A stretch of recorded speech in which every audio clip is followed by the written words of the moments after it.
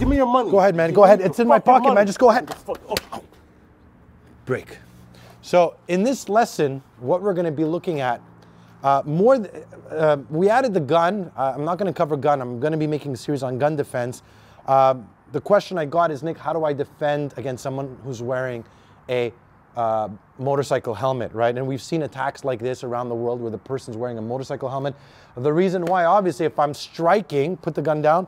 If I'm here and I'm striking the helmet, obviously his, his face is still protected, right? Uh, so what can I do? His face is protected. Mind you, if I hit hard enough, I'm still going to be snapping the neck back. So it's still, it, it's still going to do some kind of damage. You're still going to get some kind of flinch response. But what else can you do?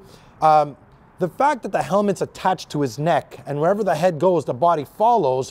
What I would do is I would come and focus on pushing here, pushing there, twisting the helmet, keeping my my my thumbs inside and pushing against the helmet and trying to twist the neck any way I can. Now, as I'm doing this, this is when my low line knees come in because I'm in close quarters. So if I'm here and I do this and I'm pushing him back here, back, I'm gonna come in with the knees into the groin, inside the thighs as well. I'm, I also have access to his throat.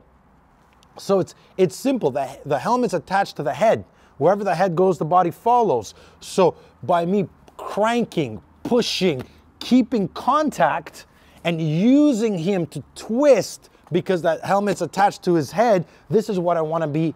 This is more what I want to focus on. Again, you could still come in and do this and throw a strike. Yeah, it's going to hurt you, but you're still going to rattle his brain a little bit. But you don't want to forget what is open. The throat here where I can apply pressure points and strike, as well low line, knees into the groin, ins- inside the thighs, and I'm gonna use this to twist, to pull, to jam. Even if I get a thumb, the first thing I'm gonna do, so grab me Costa, if I'm here and I just do this, look what happens, right? And I'm not going hard. In reality, I would, boom, here, bam, strike the throat, boom, go into, go into the groin, throw an elbow, use the, the helmet to neck crank and control the body. You know, one thing that you can do when he's wearing a helmet, again, guys, you could still strike, but obviously you're not gonna do as much damage because he's wearing the helmet. So if I decide to strike the instant I could, I'll hook with the thumb, push the head back, hit low, hit the throat, and finish him as quickly as possible. So I hope you enjoyed the lesson. I'll see you next time.